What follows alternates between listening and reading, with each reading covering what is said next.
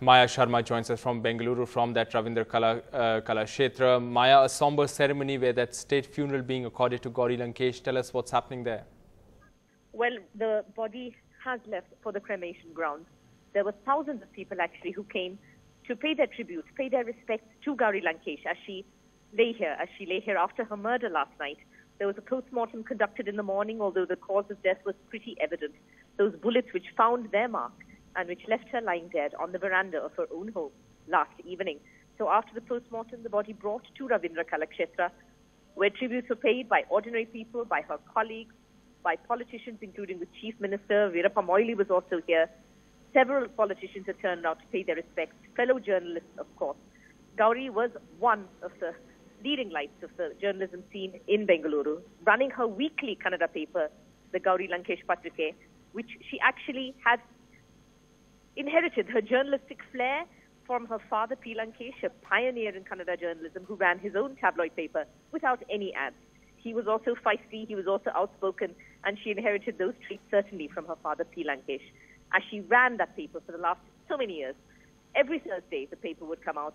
Wednesday evening was the time actually when she would be working feverishly to put the paper together. That is this evening, and the paper would come out on Thursday mornings.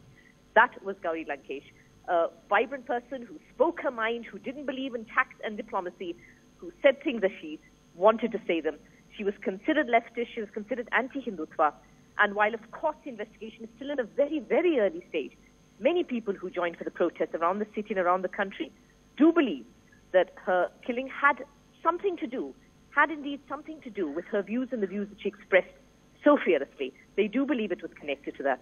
Investigation, a special team trying to look into the murder, to try and figure out what went on, who was behind the killing. But certainly she will be missed tremendously, not just in Bengaluru's journalism circle, but this is something which has shocked the country. Maya, and very quickly, are the police treating that man in the helmet and black clothes that has been seen on the CCTV footage as a possible suspect? Well, they're looking, of course, into all angles and considering that they were seeing in case somebody did, in fact, have any kind of recce, any kind of plan, they're looking into all angles. But of course, the Home Minister did tell us a short while ago that there were leads that the case would be cracked very soon, along with the case of Kalburgi, a two-year-old case. So they did say that they did have leads and would be making some kind of some kind of uh, arrest soon. But really, after two years, after two years waiting for the seizure of uh, Kalburgi, people are not too optimistic, but hopeful though that there will be justice for Gauri, justice for Gauri Lankesh, who was killed so violently last night.